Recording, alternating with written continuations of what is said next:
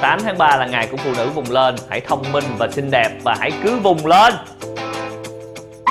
Nói vậy hơi kỳ kỳ với sư phụ ơi. Thôi nghĩ sao cũng được. Nhưng ngày 8 tháng 3 Trịnh Sư Phụ sẽ giảm 50% học phí cho tất cả các chị em phụ nữ và giảm 20% shop Trigger Boxing. Các thanh niên mà muốn tham gia chương trình này thì hãy share bài này và hashtag Trịnh Sư Phụ Woman Day và Trigger Boxing.